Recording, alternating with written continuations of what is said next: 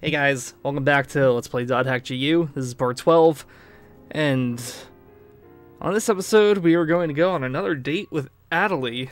Don't want to spoil things too soon, but we need Haseo needs to use her healing skills to win a fight with a stranger. So that's fun. This is Gaspard earlier replying about if you want, I mean, if you know anything about Tri-Edge, let me know. Yeah, you, might notice some of these email replies won't come until a certain point in the game, and in the email they talk about events that just happened. That, that's a little different than the first series, where it was just affection that determined when they responded. But Atoli here just happens to have another location she wants to go with us. I've got no choice but to invite No, Haseo, you can ignore her if you hate her so much. Like, What do I do? I don't have a choice. Whatever. There's a couple more interesting things in the forums that I'll just briefly go over. They talk about Endrance a little bit. One was just like a thread about like how sexy and amazing Endrance is, and this other one is interesting because they talk about that they they call it an unknown skill that En- Endrance uses to instantly kill um, opponents, and they're kind of just going over what that might be, whether it's like an art, which by the way are, are like the when I say a skill in the game, I usually refer to an art. That's like the skills you use with uh, weapons. And then there's another thread. It was from earlier about the weird chest that wouldn't open, and we got an area keyword for that. We'll go deal with that in like a further episode and then uh, another thread about the girl in white, which um, refers to Aura, that statue girl that Shino mentioned early in the game, and that people that have played the previous generation of Dot Hack games know. So I was just gonna get some more information or ask about some more information about Tri-Edge here. You know, no, nothing crucial to advance the plot or anything, but still, some, something I thought was worth keeping in. Then we have some more Apakalu drawings. I'm I'm not ever sure if I'm saying that correctly. Uh, Apakalu. I just kind of want to just say deviant art, to be honest. I don't think I'm going to leave enough time, but yeah, right here, the S from the person that just posted was Sakubo, so that was Saku and her five-year-old drawing of Endrance. I honestly wouldn't be surprised at some point she makes like a grown-up version of herself all filled out, like latched onto Endrance at some point. Totally uber, dude. And that's Endrance with the two other Arena Emperors. We'll briefly meet them later on, but as Silabus was saying in the last episode, there are three different um like kind of tiers for arenas and we're going to be doing the lowest tier in this volume. I bet you can't guess what we're going to be doing in the next two volumes. But yeah Endrance is the leader of that one. Those were the two leaders of the other ones you know but but you know what the other two don't get nearly as much of a um like fangirl response that Endrance does. Endrance is kind of like a huge deal, and I think it's because of the Avatar winning his fights and everyone thinking that he's just, you know, that good or whatever. But yeah, I, I do like Endrance as a character. Um, you know, or you know, whatever's there. He he gets more interesting towards the end of the game and then takes a hilarious turn in the second game. But um I'll save more about the other reasons I like Endrance when we get to that point in the game. I don't want to give away too much, but the people that have played both generations of dot hack games probably know where I'm going with it.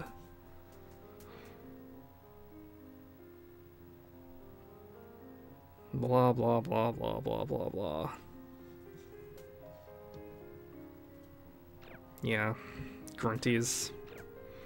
Whatever. I, I don't know. I mean, people, some players like him in this game. I'm not one of them. Unless they're like beating up Haseo. I'll check out Delta Blurry Obsessive I love how casually he just says that. Invite Atoli into my Like, I would love to hear like the real conversation of the direction somebody is giving Yuri Lowenthal in the studio when he's saying, "So just, just casually say you're going to this place," and he's like, "What? What, what kind of place name is this?" Just a bunch of random words put together. So this time, thankfully, everyone else is either offline or busy, so you know before making a full party that you're only supposed to take Atoli. Yeah, all these new area keywords we're we're not going to most of them. Like here's a here's an area for level 3 and level 4 and level 5 and level 6 and it's like, man, guys, if you just go to the one area, you're probably going to level up enough where the other ones weren't going to be needed. Like I don't I, I still don't know why they give you so many areas that you're supposed to go to. It's I don't know. Oh, but it's a nice, nice sunny day for our second date with Atoli. But since it's Haseo, I'm sure he'll ruin it. You didn't do anything wrong, Atoli. Stop apologizing to Haseo.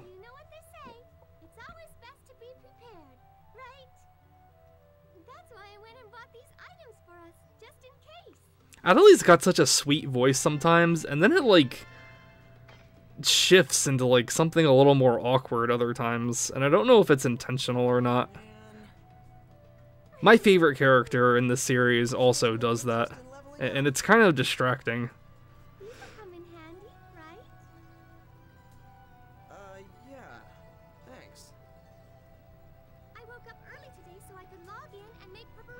Oh, Atoli, you shouldn't have done that. Sayo doesn't appreciate it at all.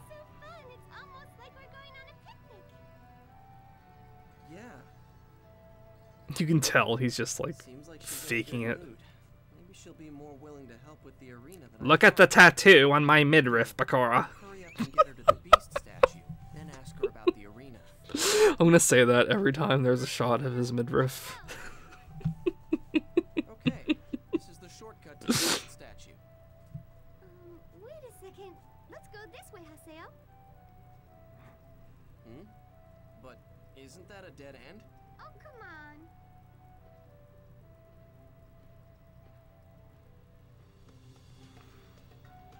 So there's there's gonna be a funny thing throughout this area where I keep trying to ride my bike and then a cutscene interrupts it and kicks me off. Does it start as early as this? I think it does. Jeez, it's so annoying.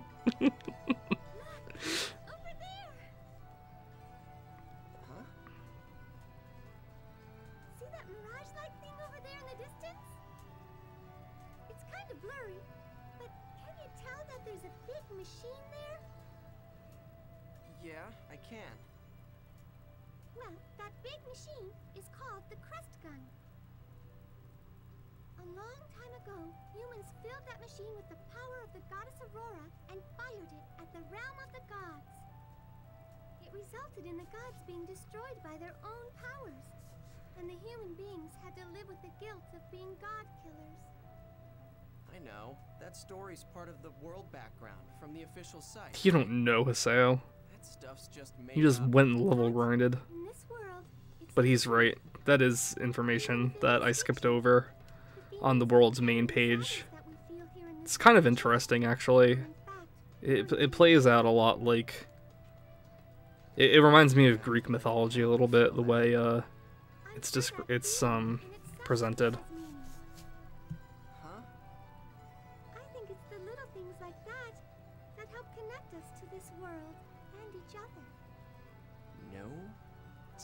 God damn it, Haseo. I hate you so much. So rude! So rude! Ah, Atoli Well, really should be in dot hack sign. I guess that way of thinking might be right right too. She's she's too good for this game.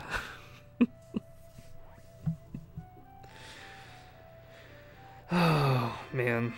But yeah, I'm actually kind of happy they included like a backstory for the in-game story of the world in GU. That's something I'll give credit to that the original series doesn't.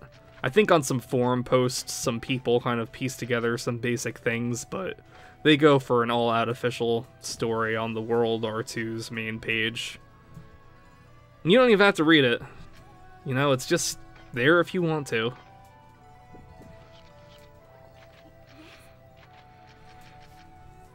So I think here I got um, a skill that I can customize on my armor to counter with poison, which is pretty good. And then I have poison on my weapon too. And I'll give this to Atoli.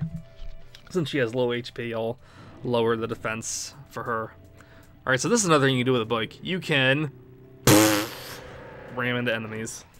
I fail at it a lot though. Don't expect it to be like something I do a lot here. Or at least a lot successfully. Or maybe I don't have poison on Haseo yet. That, um... If you notice that blue thing coming off of some of the attacks, I think that's, uh... His water attack. That's still on him. I'll, I'll put poison on him eventually. But since it's just Haseo and Atoli, it's pretty much just Haseo doing everything. Um, Atoli, since I'm taking a lot of damage, Atoli will be healing me throughout that. So I'm keeping this battle in. This battle kind of takes a little while, but since it's a new enemy, I kind of wanted to keep at least one battle with them in. And you'll get to see Atoli heal some more. Healing in this game is something I kind of have an issue with, at least for the moment. Because you get a lot more HP than you do in the original games, but you get you get more healing spells too, but they're like really small um, differences in how much they heal throughout. Like Rep here will heal 100, and then the next spell, which is called Ul Rep, I believe, will heal by 200. And the SP cost for them is also kind of ridiculous too, for such a small increase. Like,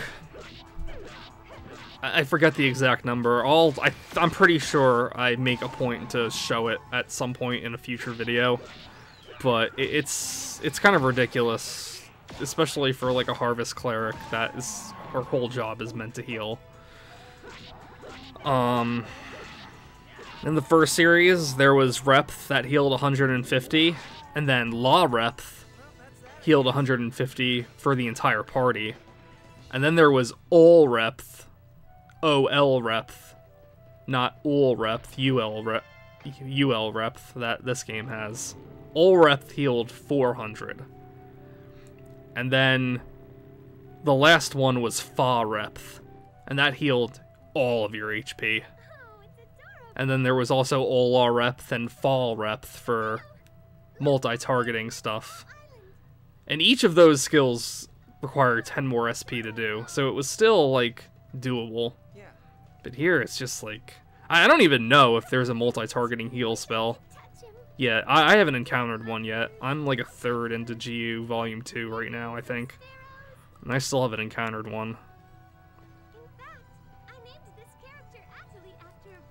Although, to be fair, I haven't really needed anything stronger just yet.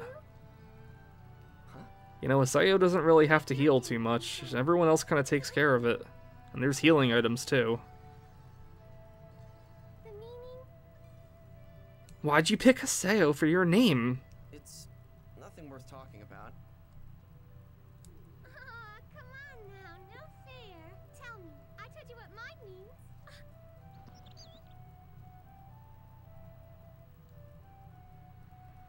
they flew away. I guess our shouting scared them off. Uh, Maybe we should go too.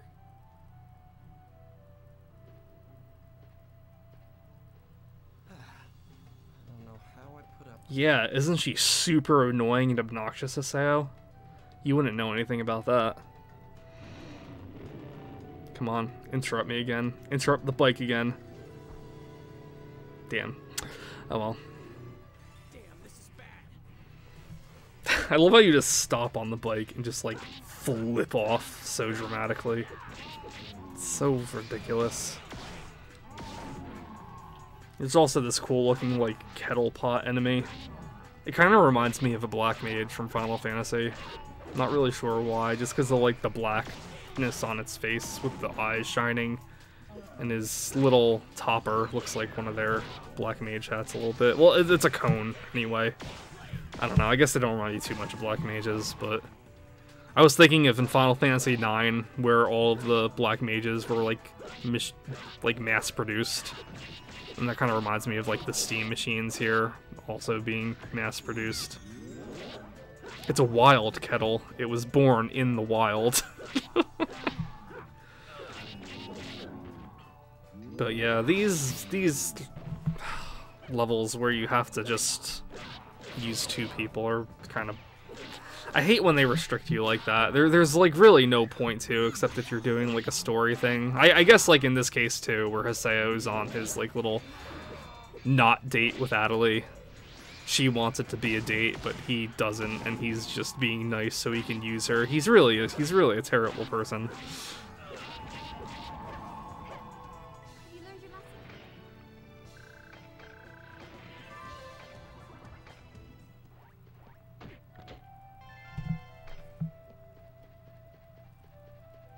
Sorry, this this music is legitimately peaceful for me. It's probably one of the things that I remember the most about this series.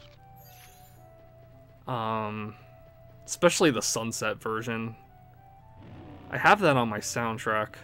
Yes, uh, there there was a time when I was in love with this game so much that I wanted the soundtrack. And don't get me wrong, some songs are still great, but when you're playing the game itself, a lot of the music is just kind of you know, average. And I don't mean that like in a negative way, it, you know, it's video game music that does its job, but not a lot of it has stuck in my head over the years. When you try to make a sharp turn, your bike might do something obnoxious like that. I, I, there, it's always been a constant struggle for me to like, you know, handle that bike properly. I feel like I'm always kind of screwing up in some ways, at least until you start customizing your parts in the next game.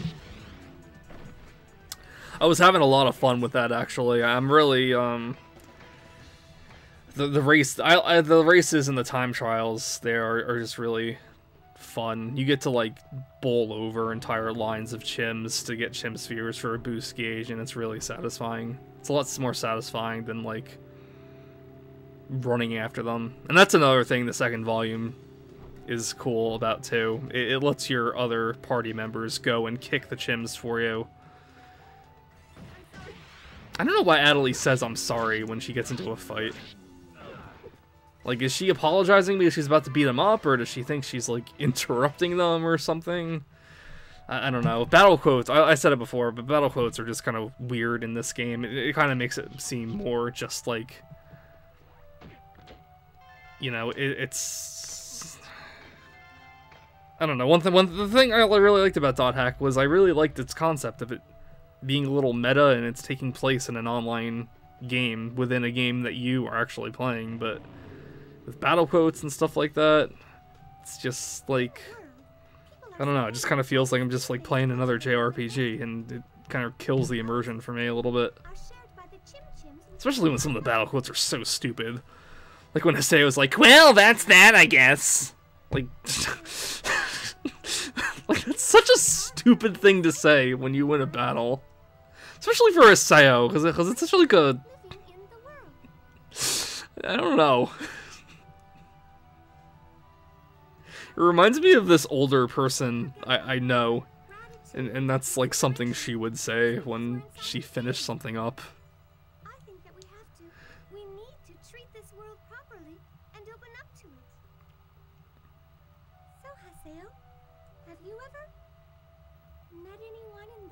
Oh, Shino shot there, frame by frame, from the cathedral. Atoli's poking at Haseo's sensitive spot. For me, that special person is actually Sakaki. And you too, Haseo. No, come on, Atoli. Leave Haseo out of it. He's a jerk. Yeah, I was seeing if I could find that Chim Chim that was just there. It's weird that it was just like a random Chim Chim out in the middle of nowhere. But let's try the bike again. Oh, no bike again. God, it's so boring hanging out with Atoli.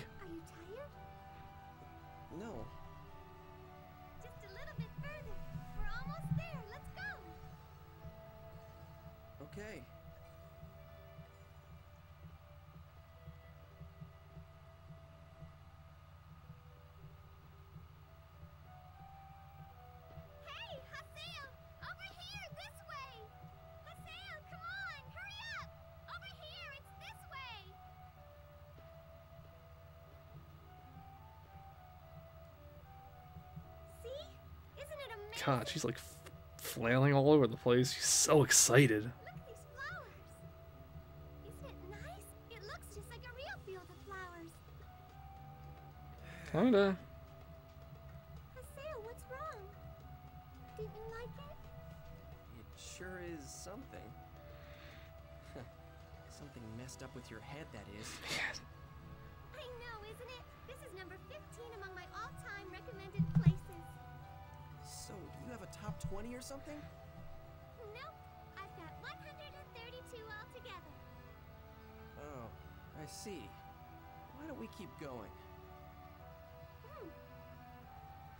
Oh, What is it now? Man, Haseo is like What? that husband you see in stores with his wife that really doesn't want to be there or with her and just wants to go get a drink and watch a baseball game with a bunch of other dudes. Oh, hold it in. Endure. If you get mad, there'll be no hope for the arena. Yeah, you're right. I guess it would be kind of mean to kick it. that's right. Besides, look how cute it is. Damn it. And it was a real gold bird, too.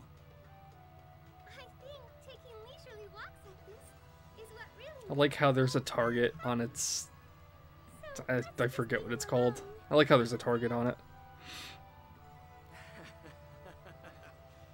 oh, okay. Let's keep going then. Will Haseo make it through his adventure with Atoli to pick out new curtains? Find out next time on Let's Play Dot Hack GU.